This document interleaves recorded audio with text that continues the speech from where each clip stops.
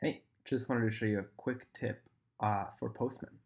If you're making requests where you constantly need the JWT, the token to authenticate, you want to save it most likely on an environment variable, and this is how you do it. Um, I have this app, so I guess I don't want to reveal my phone number, but um, I can make a call to text me uh, what the code should be to verify it, and then the one to verify it itself. On the one to verify it, I have this, you can go to the uh, test tab and basically say, hey, on the response where I'm going to get the JWT, go ahead and fetch it from the response automatically and set it as this variable right here. So in my case, it's bearer and then the actual token itself. And doing so automatically means that all my future calls will have access to that.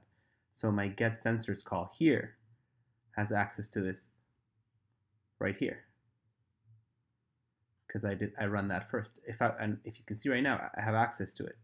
This is my local API running. If I were to take this away, I'd be unable to get in. Or even if I had uh, to show you that it's the real one, I suppose, you can say there and something else, something random. Let's see what it says. The token can't be verified. But sure enough, this should work. There you go. So there you go.